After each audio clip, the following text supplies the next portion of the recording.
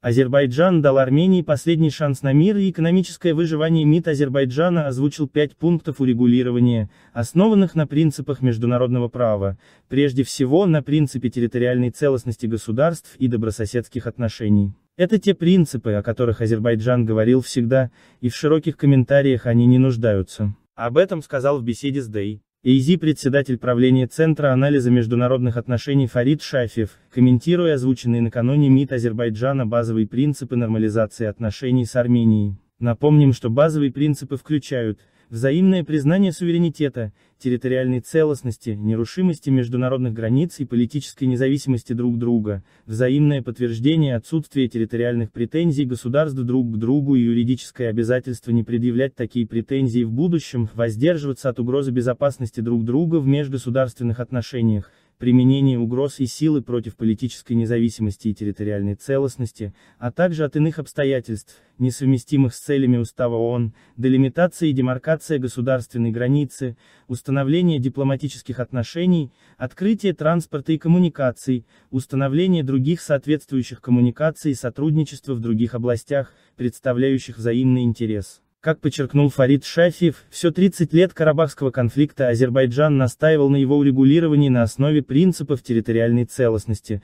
суверенитета, добрососедских отношений. Сейчас он протягивает другой стороне руку. В пункте пятом говорится об открытии коммуникаций, от чего выиграет как Азербайджан, так и Армения. Наш собеседник напомнил, что в прошлом году предпринималось немало попыток договориться об открытии Зангизурского коридора. В данном случае речь идет об исполнении пункта 9 трехстороннего заявления от 10 ноября 2020 года, касающегося беспрепятственного передвижения товаров и людей между западными регионами Азербайджана и Нахчеванской АР. К сожалению, Армения вопрос торпедировала. Хотя в последний месяц она и заявляла, что готова к выполнению обязательств, никаких шагов не предпринималось. Поэтому Азербайджан выбрал альтернативную дорогу через Иран. А Армения может во второй раз оказаться в изоляции. Те пять пунктов, которые предлагает Баку, они конкретны и это, возможно, уже последний шанс для Армении на мир и экономическое выживание. Учитывая ту ситуацию, которая сложилась в мире и в нашем регионе, будущее Армении с экономической точки зрения под большим вопросом. Наши пять пунктов – это для нее последний шанс нормализовать отношения с Турцией, подписать мирный договор с Азербайджаном и развиваться в рамках нашего региона, сказал Шафиев. Что касается обращения Армении в ОБСЕ по поводу Минской группы,